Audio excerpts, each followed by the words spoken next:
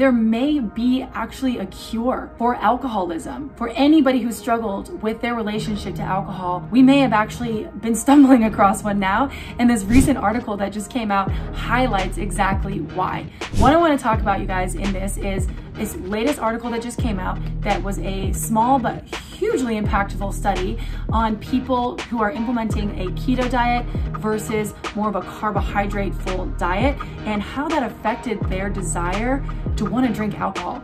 I coach on this lifestyle, carnivore and animal based. I implement it myself and the number of people who have come to me and said, Lauren, like I just don't even feel like drinking anymore. I just wanted to say how the carnivore diet has curved my alcohol cravings in a way that has dramatically changed my life. It has allowed me to make better choices with friends, allowed me to enjoy different sides of life that normally I wouldn't have with alcohol. And I just would like to say that I'm very appreciative of the carnivore diet for doing that. My name is Halsey Rodriguez, and the reason why I started this animal-based slash carnivore lifestyle is to cure a couple of autoimmune deficiencies that I have. One of them being seborrheic dermatitis, and the other one being a little more rare, called multifocal motor neuropathy.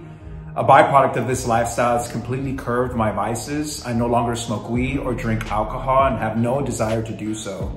The biggest benefactor from that has really allowed me to take in the moment and be present when I'm out and about with family or friends. But since going carnivore, my body cannot handle it at all. It's like drinking acid. Just after like one or two sips, I feel a burning sensation in my stomach. Just thinking about it, I feel the burning sensation, so I don't miss it at all.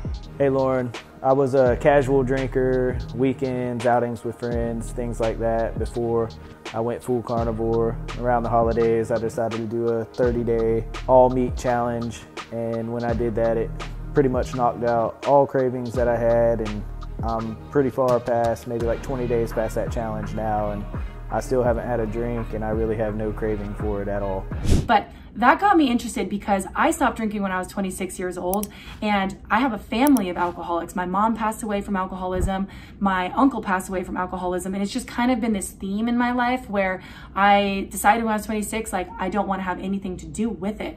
But then I came across this article. We need to really investigate this and start to really understand what's going on here because this could benefit so many people. And this might mean that the way we're trying to benefit people in rehab and the research that we have right now is misguided. How can diet affect and disrupt this addiction pathway? So this is work done by actually none other than Nora Volkow, who's the director of the National Institute of Drug Abuse. So she's a world-leading neuroscientist and addiction expert. They actually uh, admitted a group of alcoholics to a detox unit, detoxed all of them with the same protocol. Half of them get a standard American diet, half of them get a ketogenic diet. And the ones who got the keto diet actually had fewer cravings for alcohol, they had fewer withdrawal symptoms from alcohol, their brain metabolism was improved, their brain inflammation was decreased.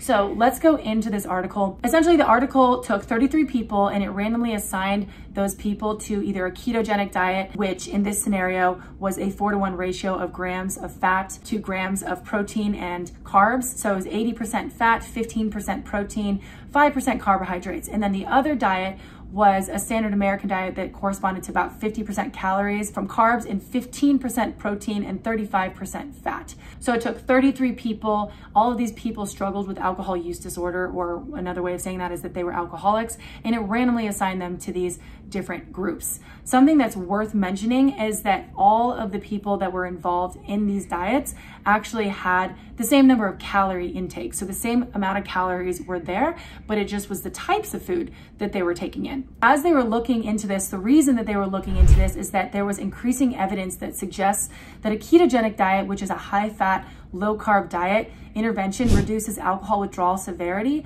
and alcohol craving individuals with alcohol use disorder by shifting the brain energetics from glucose to ketones. So the people studying this, the people who were actually implementing the study did so because of all the research that's coming out about this. And there are tons and tons and tons of pieces of information coming out specifically about this topic and how shifting from carbs and sugar to ketones has reduced people's cravings for this. This is not the first article done. In this article, it says that we hypothesized that ketogenic group would reduce a neurobiological craving signature when individuals undergoing alcohol detoxification treatment were exposed to alcohol cues. So in the study, basically, they were not only going to study how people's like emotional cues were set off based off of alcohol being in front of them or smelling it or being around it in social settings, whatever that is, but also the neurobiological patterns that would set off. So they actually extracted brain responses to food and alcohol cues and quantified the degree to which each set of brain images shared a pattern of activation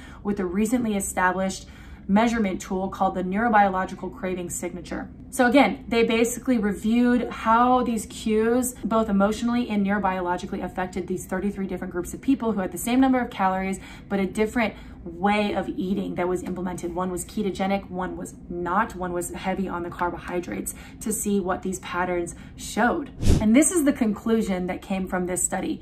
It said a ketogenic diet reduces self-reported alcohol wanting and induced lower NCS studies, which is essentially the neurobiological cues and going off of brain patterns to an alcohol cues during inpatient treatment for alcohol use disorder. It goes on to say that, however, in the ketogenic diet group, alcohol wanting continued to decrease across the three weeks of abstinence while the NCS scores remained stable. So essentially it's saying that even though the brain patterns then also started to be actually more stable over time by implementing this ketogenic diet, meaning the cues to drink and the brain patterns weren't going up and down as they typically would. It still also meant that the people in these studies who were implementing a ketogenic diet also just didn't want to drink as much. They just were like, I am not really feeling it as much. And it continued to be that way over time.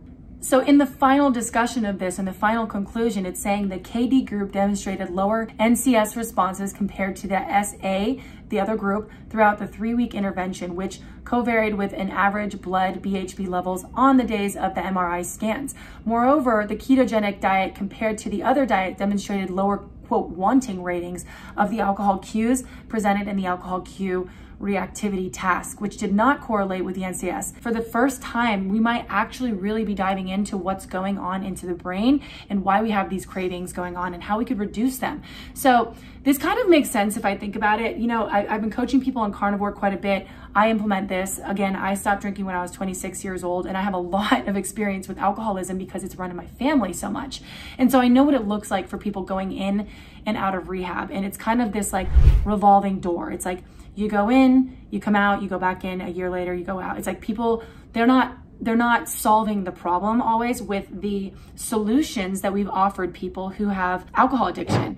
And when I look back about like my life, I remember my uncle when he would be out of rehab and trying to not drink, I remember he would eat like gallons of ice cream because that would help with his withdrawals. I remember when my mom was in rehab, they would give people in there a lot of candy and that helps them with the withdrawal withdrawals. And so if you think about it, we know that alcohol has a ton, a ton, a ton of sugar in it and it also breaks down in the liver into sugar. Basically, it's requiring our body to get used to sugar as its source of energy as one part of this. And so it kind of makes sense that when you remove access to sugar through a ketogenic diet, that now the body is reshifting its way of getting energy to ketones and shifting away from sugar as its source of energy, which would obviously make the brain start looking into other directions for energy, not just in the places that it's familiar with, which would be alcohol, which contains a ton of sugar. The other thing that's really interesting about this too, you guys, is that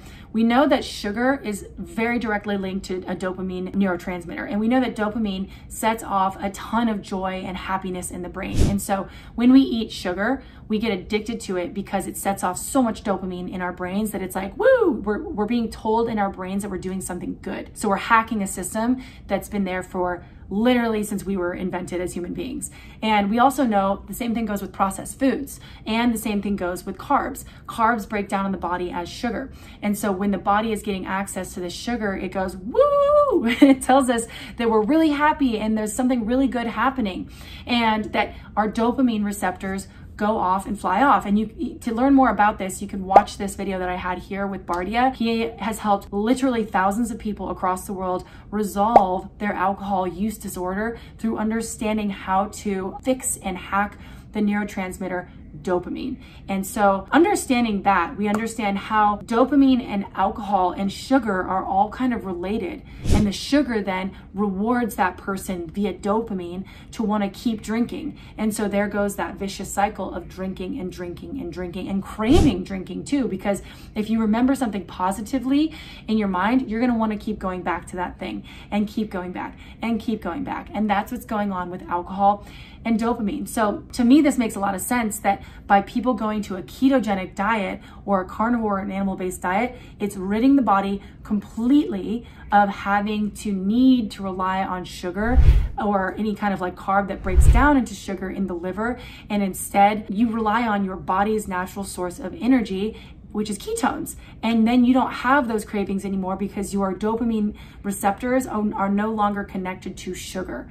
It's a just completely different connection. And so, you know, thinking about this, all the people that have talked to me about how carnivore animal based has helped them reduce their cravings and they don't even want to drink anymore, this is making a lot of sense to me. So for anybody out there who is wanting to help somebody who has alcohol use disorder, or maybe you do, your family does, somebody in your family, your best friend, share this video with them. Help them see that a keto diet or a carnivore diet or an animal-based diet might be able to help them. And it's not just me saying this. I am biased, but we have this groundbreaking new article that just came out along with so many other ones out there about how ketogenic diet is potentially benefiting people who are addicted to alcohol. This is potentially groundbreaking. We might be able to reinvent how rehabs are handled, the food that we have in there, and actually help these people who are struggling with alcohol use disorder to give them some solutions. So I hope you guys like this. I'd be so curious to hear what your thoughts are below. Let me know if you've had a similar experience. Drop a comment below or if you know somebody who has. Please share this with anybody out there who needs to see this. Like it if you liked it. And as always, subscribe because the more subscribers, the more base we have, the bigger audience we have, the bigger guests are that I can have on, and the more truth that we can unravel. All right, you guys, I'll see you on the next one. See ya.